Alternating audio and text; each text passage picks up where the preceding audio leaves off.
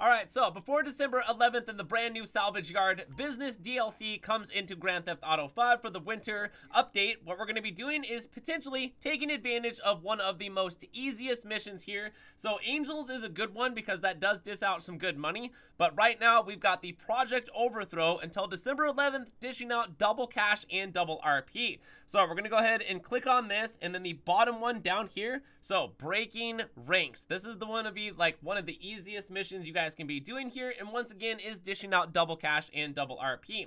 So when we load up this mission, in the settings, we're going to want to put that to hard mode right there. Go ahead and confirm everything. You guys might want to think about grabbing some armor because we will be getting shot at. And then from here, it's going to be up to you. This can be done solo, but I do recommend grabbing some players. Right here, we got like a level 14. So that's going to be a, like a level of trust that I don't usually do with people. But what the heck, we'll bring them with us anyways. Alright, so we're gonna start off in our Avenger, and when our, like, Avenger starts flying, we have the ability to, we're just gonna fly on out to Grapeseed here, which is located way out here. There's going to be a warehouse that is surrounded by NPC enemies. I suggest you and your comrades go ahead and get on the big guns of the Avenger and start shooting up the warehouse, light up all these bad guys like these NPCs. They all have to get destroyed. And then after they get destroyed, we're gonna need to go ahead and park the Avenger on over at the Sandy Shores Airport, which is just like right over there.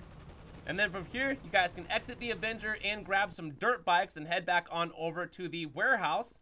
And then from here, we're going to enter the warehouse. So this is something you guys do not want to do. It's something that I did because I wasn't sure. And I just was like, whatever, we're just going to like...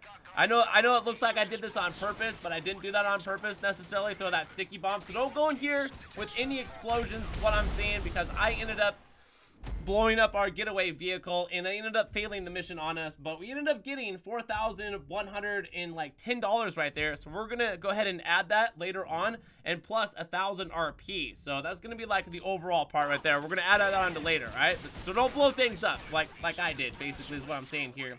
So from there just take your assault shotgun run through here destroy all of the NPC enemies and then from there, we're just going to be collecting parts. So there's going to be a number of parts in here in which we have to collect and then deliver them back to the van itself. Just pick them up. Anybody can do this. And if you have like a four-man team, it's going to go a little bit quicker because everybody has to just grab something and then just get back into the van at this time. So when we grab, once we grab all the parts and we are back in the van, all we're gonna have to do is just simply is just gonna like give us a black screen. We're gonna wind up outside and then from there, we're gonna head on back on over towards the Avenger. So the Avenger is still parked, remember, on over at the airfield. So we're just gonna head on back there real quick. And then what's gonna happen here is the Avenger is actually gonna get blown up. It's gonna be like a lot of NPC bad guys over there or something. Bad stuff is gonna happen. So what we're gonna do is go ahead and turn right around and start heading towards the freeway, all right?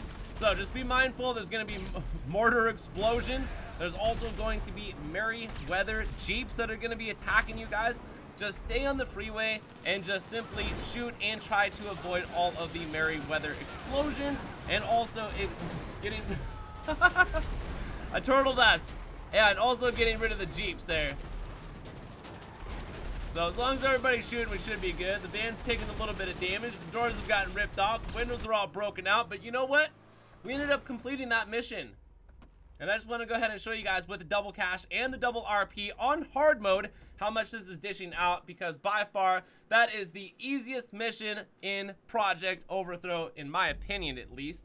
Alright, so there it is, $51,840 and remind you guys too about that 4,100 that I got earlier, which makes it over $55,000 for completing one of the easiest overthrow missions right now in Grand Theft Auto 5 until December 11th and that brand new DLC ends up dropping. So from there, if you guys ended up enjoying this video and it was helpful and you ended up making a ton of money running Breaking Ranks, which is the easiest project overthrow mission by far, in my opinion, hit that like button down below on the way out. Subscribe for new content so you guys don't miss out on daily GTA 5 online videos that we post here. And go follow me on Twitter so you guys don't miss out on any other videos that get posted on over there and shared. But from there, thank you all for watching. Hope you're all having an awesome rest of the day. My name is Gravesight. Green Alien, and I'm out of here. So, peace.